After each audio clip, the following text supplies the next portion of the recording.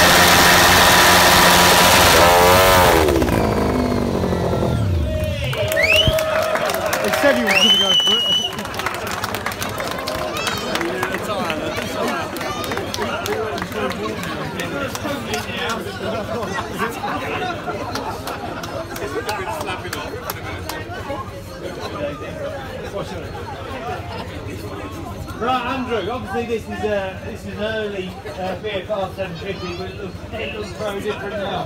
Uh, yeah, um, basically it's only the actual engine and the actual bike itself with the seat and the bike. Everything else is someone probably got other Hondas always out there. So, obviously, you spent time competing this. You know, you're doing a decent job. Obviously, you know, been quite successful. It looks good as well. So, what are the plans in the future? Um, next step will be like lower the compression, more with different pistons and fuel injection. It's actually went flow through on the original carburetor. So, you know, on a, on a time scale, how much will that improve the bike on a run? I could probably knock another second off.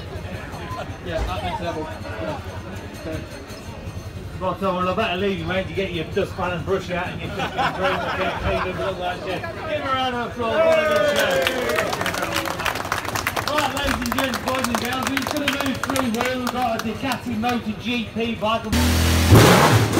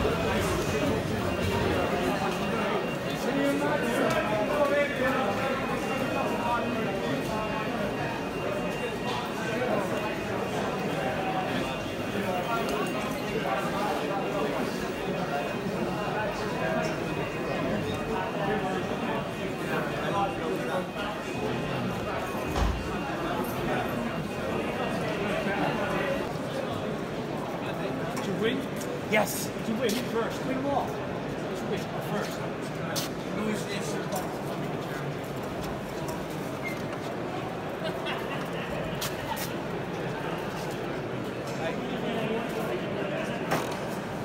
Is that what you win, do you?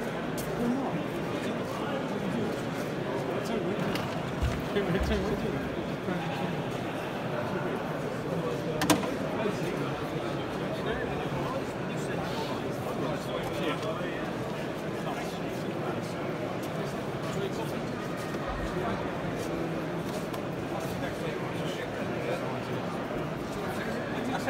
Essentially, help sugar. Just to get to get response. Just to get one anyway. Not clear. 2014, okay, right there. 2017, 2006, there.